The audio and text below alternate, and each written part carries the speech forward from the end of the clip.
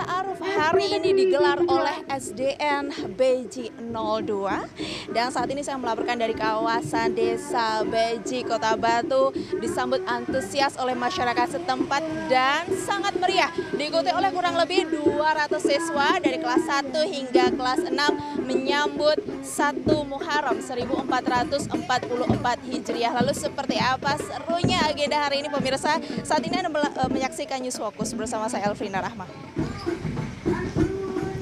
Tahun Baru Islam atau disebut juga satu Muharram adalah peringatan penting bagi umat Muslim untuk memperingati hijrahnya Nabi Muhammad Sallallahu Alaihi Wasallam dari Mekah ke Madinah. Peringatan Tahun Baru Islam berjalan begitu meriah bagi para siswa SDN 2 BJ Kota Batu. Sekitar 200 siswa-siswa dari kelas 1 hingga kelas 6 memadati halaman SDN 2 BJ. Mereka membawa poster berisi pesan-pesan yang nuansa islami diiringi dengan selawat sambil berpawai berkeliling sekitar sekolah. Bersorak bergembira terpancar dari para siswa peserta pawai ta'aruf serta kompak memakai pakaian serba putih dan gamis yang mencerminkan nilai Islam yang suci dan bersih. Tak hanya para siswa yang antusias, namun juga menyita masyarakat sekitar dan para pengguna jalan. Peringatan ini juga menjadi wadah silaturahmi bagi para guru dan wali murid serta komite sekolah. Kepala Sekolah SDN 2 Beji, Sihwaluyo menuturkan, pawai ta'aruf ini merupakan kegiatan dalam rangka memperingati 1 Muharram 1443 Hijriah sebagai salah satu upaya dalam menanamkan pendidikan karakter kepada siswa, sehingga siswa dapat memiliki jiwa yang berbudi luhur dan berakhlak mulia. Kegiatan hari ini memang kita rencanakan karena setelah pandemi anak-anak cukup apa ya stres dengan pembelajaran secara daring sehingga ketika anak-anak sudah tatap muka perlu penyegaran. Jadi anak-anak perlu senang. Makanya apa di awal pembelajaran ini SDPJ 2 mengharapkan anak-anak menyambut sekali proses pembelajaran dengan cara yang lebih menyenangkan. Jadi baik guru maupun masyarakat khususnya wali murid sangat mendukung kegiatan-kegiatan yang dilaksanakan dalam rangka kegiatan agama atau kegiatan lain yang membuat anak-anak itu senang gitu. Karena selama ini memang bosan di dalam rumah belajar dengan orang tuanya. Nah, sekarang benar-benar sudah apa berjalan secara wajar sehingga anak-anak sangat antusias dengan kegiatan keagamaan ini.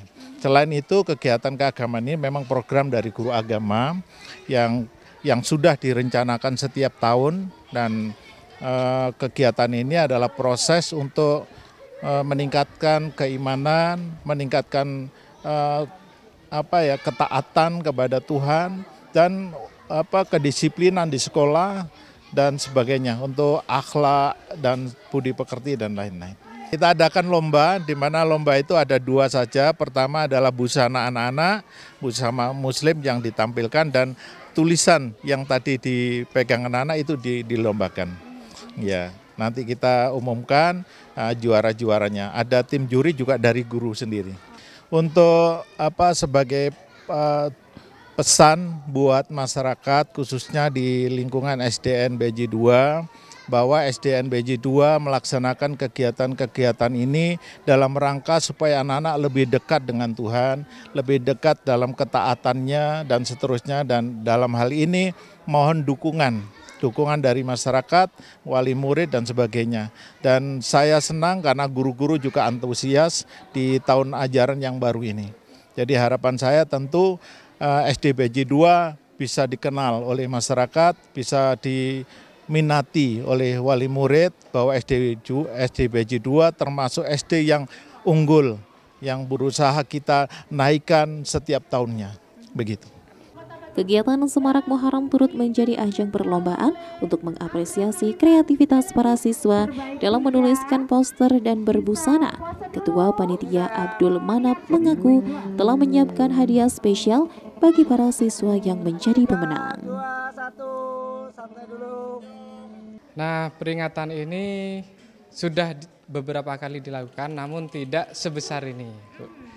Meskipun persiapannya kurang maksimal karena ada beberapa poin yang kemarin konfirmasinya mendadak Namun alhamdulillah sampai saat ini tidak ada kendala dan tidak ada eh, apa namanya tidak ada yang di luar rencana. Seolah sesuai rencana semua. Eh, saya kira satu Muharram ini merupakan eh, apa namanya merupakan acara yang menumbuhkan kepemilikan bahwasanya kita punya kalender Islam tidak tidak hanya Masehi eh, Islam itu juga punya kalender jadi dirayakan untuk diberitahukan kepada anak-anak agar ada peningkatan iman dan takwa kepada mereka. Eh, untuk seragamnya anak-anak ini eh, bebas dibebaskan namun semenarik mungkin. Karena nanti ada kejuaraan atau eh, pakaian yang paling menarik busana muslim yang paling menarik dikasih hadiah dari pihak sekolah.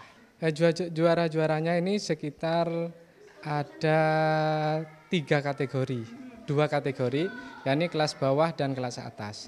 Ini eh, kriteria penilaiannya tentang busana muslim yang menarik dan atribut yang menarik. Mudah-mudahan harapan ke depannya, mudah-mudahan tidak ada pandemi yang seperti kemarin lagi. Karena apa?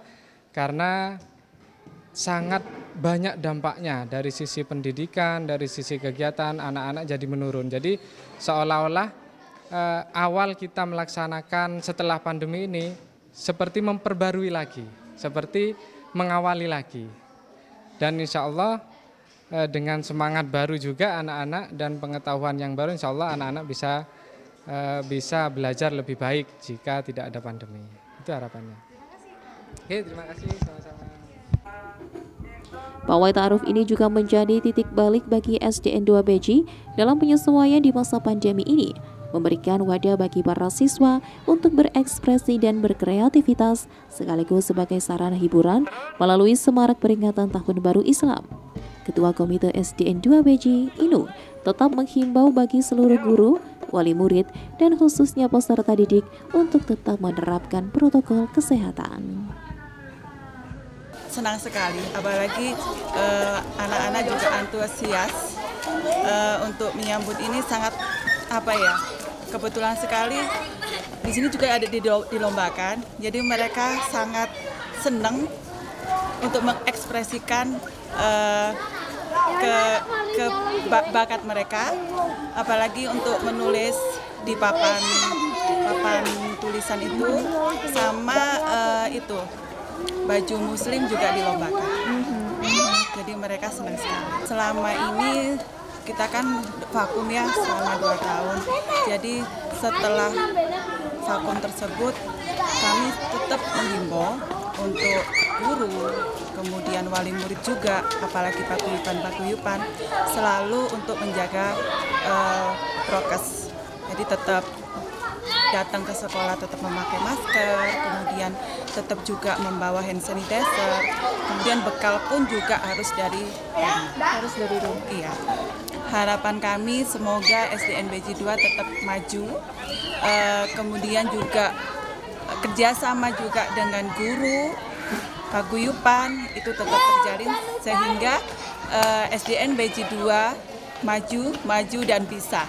Setelah berkeliling sejauh 2 km mengelilingi kawasan Desa Beji, para peserta pawai ta'aruf dari SDN 2 Beji sudah sampai di garis finish yaitu di SDN 2 Beji itu sendiri dan pemirsa eh, dari peringatan 1 Muharram 1444 Hijriah ini semoga Allah Subhanahu wa taala senantiasa melimpahkan rahmat dan juga kenikmatan kepada kita semua. Dari Kota Batu tim News Focus ATV melaporkan.